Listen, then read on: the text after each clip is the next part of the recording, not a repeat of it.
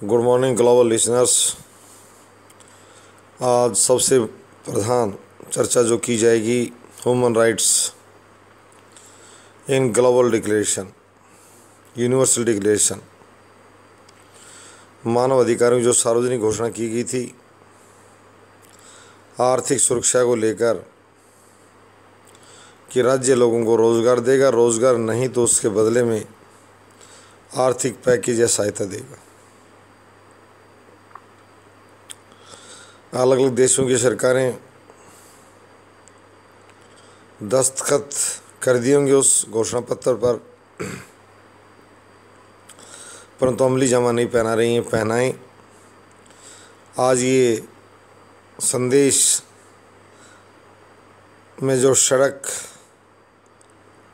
पर जो ड्राइवर चल रहे हैं, उनकी सुरक्षा को लेकर ये प्रेषित कर रहा हूँ। इससे ग्लोबल इंश्योरेंस कंपनीज़ को कहूँगा वो कहती हैं कि हमें लिबरल पॉलिसी का लाभ दो। हम हर देश में काम करना चाहती हैं। अब यहाँ आइए। अंत में घूमकर मैं भारत को पहले ही मैंने कि ग्लोबल हब बनाना है। सफलता मॉडल बनाना है। लोग उदाहरण दें, एक नज़ीर बने भारत और इसी नजराहट में पचास लाख जो ट्रक ड्राइवर हैं, उनकी सुरक्षा को लेकर, उनके इंश्योरेंस को लेकर, उनके भोजन को लेकर मैं एक साझा करूँगा सरकार से वीडियो। इंश्योरेंस कंपनियाँ आए, उनको नाम मात्र की राशि पर बड़े बड़े इंश्योरेंस उनकी राशि, उनके जीवन का बीमा करें लाइफ इंश्योर्ड करें। सैनिक के समान ज़िंदगी है और राष्ट्र के पोषण में उसका उतना ही बड़ा हाथ भी है। एक मामूली वेतन पर बहुत बड़े कार्य को अंजाम देता है ट्रक ड्राइवर इंश्योरेंस कंपनियों के साथ साथ सरकार भी सूद ले। उनकी इंश्योरेंस को लेकर जैसे सैनिक को सात करोड़ का बीमा मिलता है, ऐसे ही उनको बड़ा बीमा दिया जाए क्योंकि उनकी लाइफ की जोखिम काफ़ी ज़्यादा है। और जहाँ रिस्क रिस्की लाइफ या जॉब जो रिस्की जॉब हो, वहाँ इसकी इंश्योर्ड अमाउंट कीमत बढ़ जाती है और बढ़ जानी चाहिए। उसके करीब को एक सैनिक के समान देखा जाए, दिन रात सर्दी, गर्मी, बरसात की परवाह नहीं करते हुए सड़कों गाड़ी दौड़ाते हैं और सड़क के गुंडों से भटकाते हैं। जगह जगह अलग अलग राज्यों में इस तरह के गिरोह हैं जो उनसे लूट मार करते हैं। और पुलिस प्रणाली उनका बाल तक बांका नहीं कर पाती है। इसके लिए पुलिस प्रणाली को कहूँ, आईपीएस लॉबी को और इंडियन पुलिस ट्रेनिंग सेंटर को,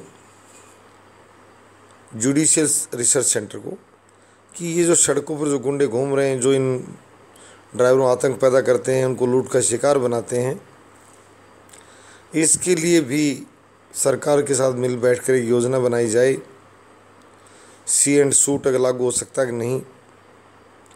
खौफ उन्होंने ड्राइवरों में बाढ़ दिया, ड्राइवरों में खौफ बाढ़ने के स्थान पर प्रशासन द्वारा खौफ उनमें बाढ़ा जाए।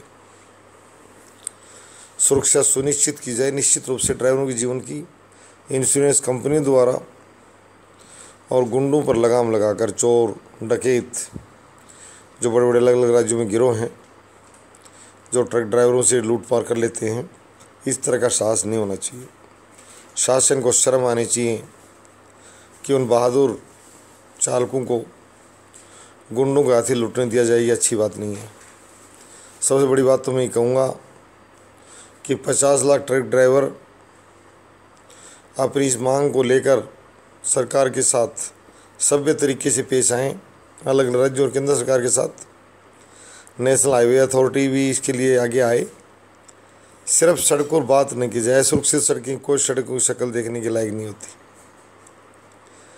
उनकी तस्वीर गंदी मानी जाएगी। यदि वहाँ, जब तक वहाँ लुटेरी गैंग घूम रही हैं, सुरक्षा पहला मानक है, सवस्था दूसरा, सुंदरता तीसरा। पहले सुरक्षा सुनिश्चित की जाए, इसके राष्ट्रीय राजमार्ग प्राधिकरण से कहूँगा कि चित्तों को सड़क पर छोड़ा जाए। ताकि अपनी घास वो खा लें। उनको सड़क पर घास मिलेगी, बहुत बड़ी बड़ी हो रही है, घास छोटी नहीं है। इन नौजवानों के मोबाइल लूटे जाते हैं, इनका कैश लूटा जाता है, इनकी इज़्ज़त लूटी जाती है। उसके लिए राष्ट्रीय राजस्व प्राधिकरण एन एच ए आई आगे आई, इनकी जीवन को सुरक्षा दी जाए और सस्ते और सुरक्षित रजिस्टर्ड भोजनालय भी हों। हर जगह भोजन खाना भी इनकी सुरक्षा के लिहाज से बहुत ख़राब है। ज़रूरी है कि अथॉरिटी अपनी निगरानी में इनके लिए समुचित और व्यवस्थित भोजन, सस्ते भोजन की व्यवस्था करे और इन बहादुरों के हौसला अफजाई करे। धन्यवाद।